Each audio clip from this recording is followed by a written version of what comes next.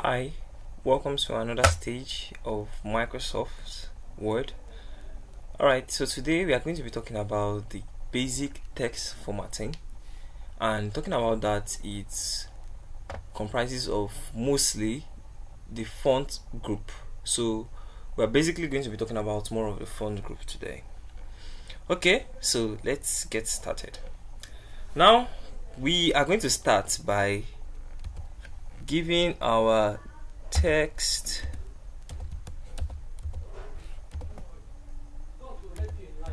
A font. We're going to change this font. So remember i told you guys before you work on anything you need to first highlight it. So i just highlighted mine. So is either i come here or when I hover on this okay let me do it again. I highlight and I hope yes this is it. So I just click here and I can select any font. So I'm just going to search for Times New Roman. Good. This is it. And I click now this is it. So you can actually select a font by just highlighting your text and giving it a font. So let's say now we want to also make this uh, YouTube want to make it bold. How can we make it bold? Is it that we do control B? You click on control plus B or you come here this B icon here you click on it. Now it becomes bold. Good. Alright so let's make this bigger. There are two ways you can actually make this bigger. Is either you come here the font size you increase it to 26 or you come here this the bigger a here is to increase it. Then the smaller one is to reduce it. If you watch I can increase I can reduce it. While also here I can select the size I want. Now that is how we can actually increase and reduce our text size. Okay. We're going to be having something under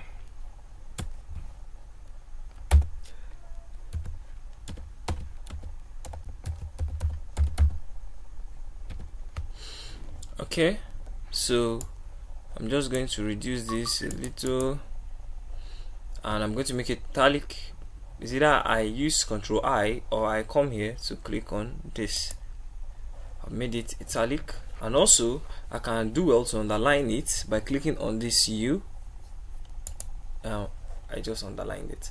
Now if you look at the underline it's having a color so let's say we want to change the color you can just come here click on this then you see underline color you can set it as black as white or any other color. So let me set it as red. Good. All right we can also change the style of the underline. You can use any of this so you can actually play around with it. So I think I'm going to go for this one. Alright so we just made it italic we also underline it. Now let's say we want to strike through. When you want to strike through okay let me have another one down here. Now let's say we want to strike through. We just have to highlight first then come here and click. Now we'll strike it through like I said you want to increase it come here you can increase and also to decrease here. Alright so I'm going to highlight this. Now I want to use a text effect on this and this is where you find the text effect and typography. So I click on it. Now I'm going to see different text effects here. So I'm going to use this. Let me use this one now using this does not actually mean this is how it will be like. You can actually change the color if you want to.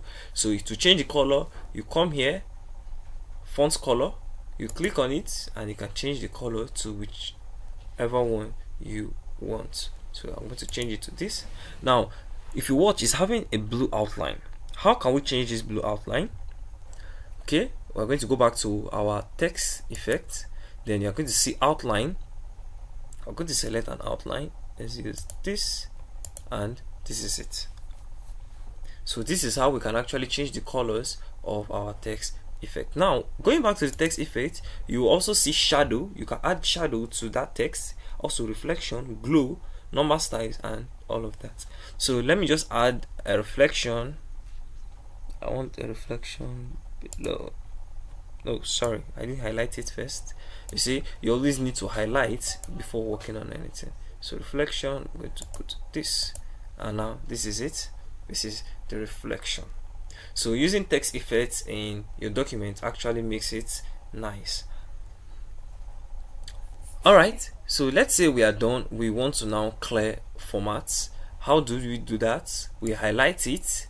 Now clearing of formats actually means you are going to take back this learn digital skills back to the way it was at first.